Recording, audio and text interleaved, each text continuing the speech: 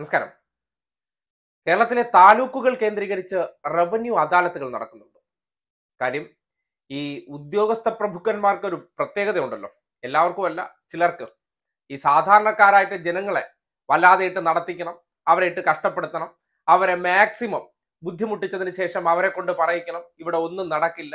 ഈ നാട്ടിൽ ഈ സർക്കാർ സംവിധാനങ്ങളെല്ലാം മോശമാണ് ഈ ഭരിക്കുന്നവരെല്ലാം കള്ളന്മാരാണ്. ഇങ്ങനെ പറയിപ്പിക്കുന്നതിനുള്ള മുഖ്യ കാരണക്കാർ പല ഉദ്യോഗസ്ഥരുമാണ്. ഇപ്പോൾ ഈ അദാലത്തുകൾ നടക്കുന്നതിൽ ഇത്തരം ഉദ്യോഗസ്ഥരെ പൊളിച്ചടുക്കുന്ന ചില ഇടപെടലുകൾ ഉണ്ടാകുന്നുണ്ട്. കഴിഞ്ഞ ദിവസം പി ഡബ്ല്യു ഡി മിനിസ്റ്റർ ആയിട്ടുള്ള മുഹമ്മദ് റിയാസ് ഒരു ഇടപെടൽ കൂടി നടത്തിയിട്ടുണ്ട്. ഒരു സാധാരണക്കാർ കഴിഞ്ഞ കുറെ കാലമായിട്ട് ഒരു ആവശ്യം ഉന്നയിച്ചുകൊണ്ട് ഉദ്യോഗസ്ഥരെ പിന്നാലെ നടക്കുമ്പോൾ മുട്ടാപ്പോക്ക് ന്യായങ്ങൾ പറഞ്ഞ് വഴിതെറ്റിക്കുകയാണ്. അല്ലെങ്കിൽ അവരുടെ വഴിമുടക്കുകയാണ്. അവരെ നിരന്തരം ബുദ്ധിമുട്ടിക്കുകയാണ്. അതിനാണ് ഇന്നലെ ഉദ്യോഗസ്ഥന്മാരെ അവരുടെ മുന്നിലിരുത്തി പറപ്പിച്ചത്. വളരെ സ്പെസിഫിക് ആയിട്ടുള്ള ചോദ്യമാണ്. അവരൊരു ജീവിത പ്രശ്നമല്ലേ നിങ്ങളോട് പറഞ്ഞത്?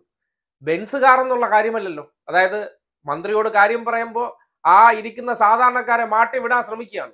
അതിനാണ് റിയാസ് കയറി കാര്യമായിട്ടൊന്ന് ഇടപെടുകയും ആ ഉദ്യോഗസ്ഥന്മാരെ പറപ്പിക്കുകയും ചെയ്തത്. ഇങ്ങനെ തന്നെയാണ് ഇടപെടേണ്ടത്. ഇത് തന്നെയാണ് ജനം ആഗ്രഹിക്കുന്ന ഇടപെടലെന്ന് പറയാതിരിക്കാൻ നിവർത്തിയില്ല കണ്ടു നോക്കേ ഇതൊക്കെ നമുക്ക് വേറെ അതുപോലെ പഞ്ചായത്തിൽ നിന്ന് കിട്ടിയ വീട് ഈ സഭയിൽ അങ്ങനെ തയ്യാറാക്കി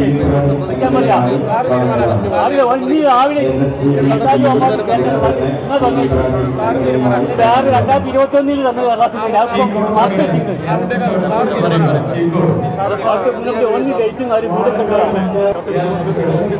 ഞാനതൊന്നും പറയുന്നില്ല ആളുകൾ ഇങ്ങനെ ഒരു വിരോധം സമ്പാദിക്കുക എന്ന് പറഞ്ഞാൽ എവിടെയെങ്കിലും പാളിച്ചുണ്ടോ എന്ന് പരിശോധിച്ചു. അല്ലാതെ അദ്ദേഹം അങ്ങനെ വികാരഭരിതനായി പറയില്ല. നിങ്ങളെ എന്തോ വാക്കിലോ നിങ്ങളെ വാക്കിലോ ഇടപെടലോ എന്തിലോ അവർക്ക് മനസ്സിന് മുറിവേറ്റിട്ടുണ്ട്. ആ അതുണ്ട്. ഒന്നാമത് ഒരു പ്രയാസം അനുഭവിക്കുക. അതിന്റെ കൂടെ അങ്ങനെ എന്തെങ്കിലും കുത്തുവാക്കോ അല്ലെങ്കിൽ ഇടപെടലോ വന്നാൽ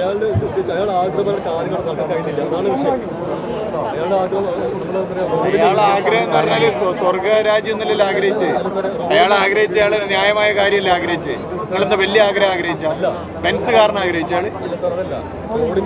ഒരു വളരെ ന്യായമായ ആൾ ജീവിക്കാനുള്ള ഒരു ചുറ്റുപാടുണ്ടാക്കാൻ വേണ്ടിയിട്ടുള്ള ഒരു കാര്യം ആലോചിച്ചത് വലിയ ആഗ്രഹം അത്. പരിമിതമായ ഒരു കാര്യമല്ലേ അദ്ദേഹം പറഞ്ഞു? ആ വലിയ ആഗ്രഹം അത്. നിങ്ങളിപ്പോ പറഞ്ഞ അയാൾ ആഗ്രഹിച്ച പോലെ നടന്നില്ല. അതിന്റെ ചൂടാണ് അയാൾ ആഗ്രഹിച്ച ന്യായമായ കാര്യമില്ലേ? അങ്ങനെ നിങ്ങൾ സംസാരിക്കരുത്. ഒരു കാര്യം ഇദ്ദേഹം ന്യായം ചെയ്യുന്നില്ല എന്നുള്ള വൈകാരികമായി ഇദ്ദേഹം ഇവിടെ പറയുകയാണ്. സത്യം എന്താന്നുള്ളത് പരിശോധിക്കണം. ഇത് നടക്കണം കാര്യം.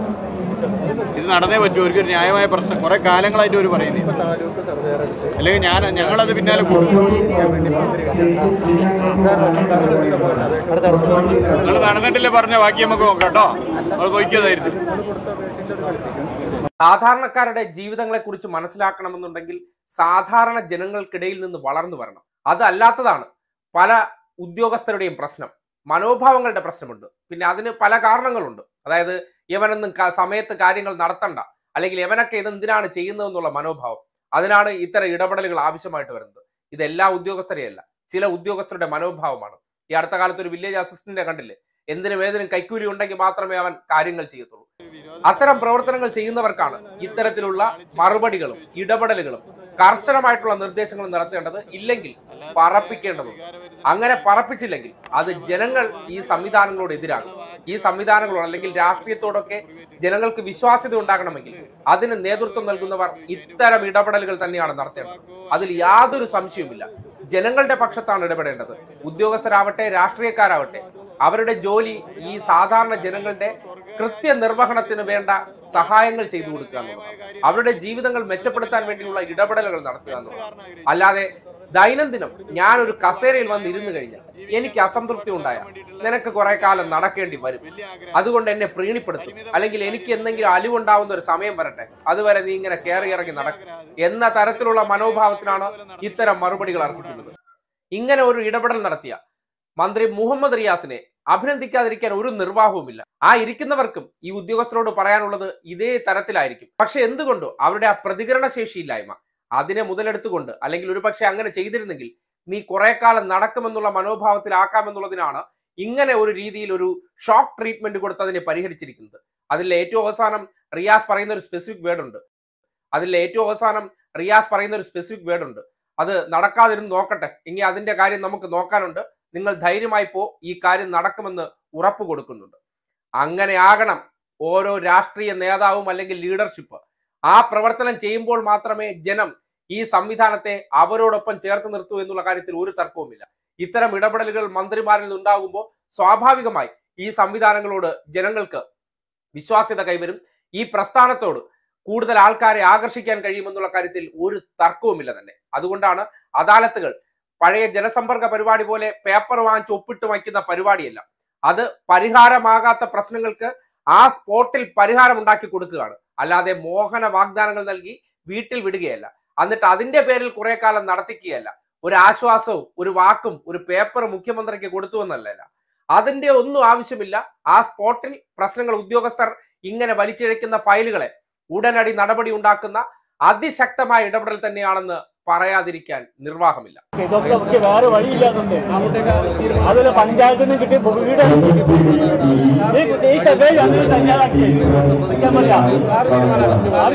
രാവിലെ രണ്ടായിരത്തി തന്നെ ഇരുപത്തി ഒന്നിൽ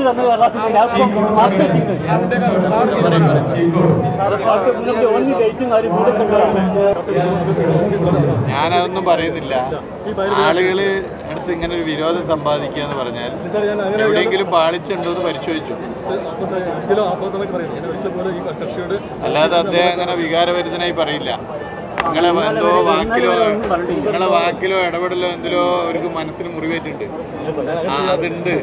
ഒന്നാമത് ഒരു പ്രയാസം അനുഭവിക്കുക. അതിന്റെ കൂടെ അങ്ങനെ എന്തെങ്കിലും കുത്തുവാക്കോ അല്ലെങ്കിൽ ഇടപെടലോ വന്നാൽ